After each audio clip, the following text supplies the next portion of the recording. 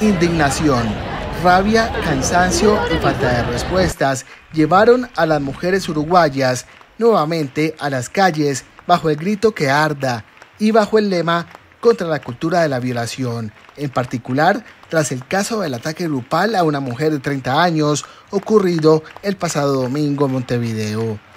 En todos los departamentos, provincias del país, el grito feminista se hizo escuchar en las calles reclamando poner fin a violaciones, feminicidios y demás abusos machistas que sufren a diario las mujeres, al tiempo que quienes no pudieron acudir a las marchas hicieron sonar sus cacerolas desde los balcones e incluso las bocinas de los coches.